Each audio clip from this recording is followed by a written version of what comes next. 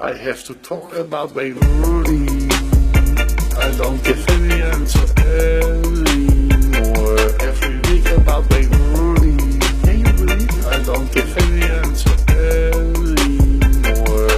Because I'm sick of it. Because I'm sick of it. Because I'm sick of it.